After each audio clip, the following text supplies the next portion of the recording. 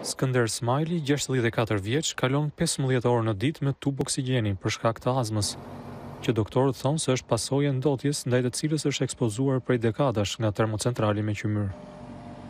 Zoti Smajli, i cili merr trembëdhjetë lloje ilaçesh për të kuruar azmën, sëmundjen e Parkinsonit dhe sëmundjet e zemrës, jeton në fshatin Palaj, jashtë qytetit Obiliq, ku gjenden dy termocentrale qymyri në gjendje jo të mirë.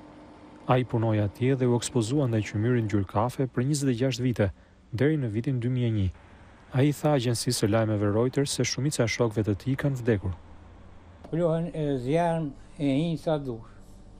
Pluhën ka pas hi sa dush n'grësore m'u dashke me hi nëpër kaldoja, kazana ku ka qendile aty, ku ka temperatura e hinj e pluhën e sa dush s'e kem njoft njani tjetrin prej pluhnit. Qe ç'ka me bo. U duke me punu, këna punu për inxarës, s'këna pas çare pa punu. Me vetëm gjashtë cent për kilovat orë, Kosova ka ndër çmimet më të ulëta të energjisë në Evropë, por ambientalistët paralajmërojnë se kostoja del shumë më e lartë nëse llogariten edhe shpenzimet e shëndetit publik. Në një raport të dy mijë e nëntëmbëdhjetë-s, Banka Botërore tha se ndotja e ajrit shkakton rreth shtatëqind e gjashtëdhjetë viktima çdo vit në Kosovë.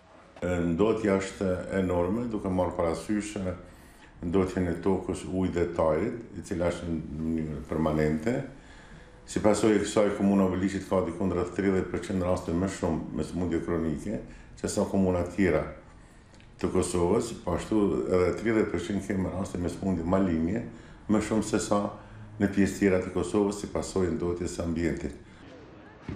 Shumica e gjashtë vendeve të Ballkanit Perëndimor mbështeten tek prodhimi i energjisë nga qymyri, që është identifikuar si ndër ndotësit kryesorë. Rajoni është i pasur me linjit, një burim i ulët energjie që ndryshe njihet edhe si qymyri ngjyrë kafe. Por ndërsa këto vende përpiqen të anëtarësohen në BE, do të duhet të ulin konsumin e qymyrit.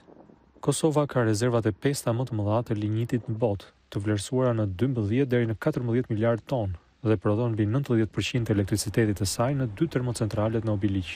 Komisioni Evropian i bëri thirrje këtë muaj Kosovës që të mos mbështetet më tek furnizimi i energjisë nga qymyri, i cili ka pasoja për shëndetin. E ardhmja e thëngjillit është në tokë. nuk është në shfrytëzim. Bota e ka pa që shfrytëzimi i thëngjillit nuk është që është ndonjë faktor i madh i zhvillimit qoftë ekonomik. Ekonomia nuk zhvillohet me thëngjill. Sipas të dhënave të fondacionit, banorët vendas jetojnë pesë vite më pak për shkak të ndotjes së ajrit.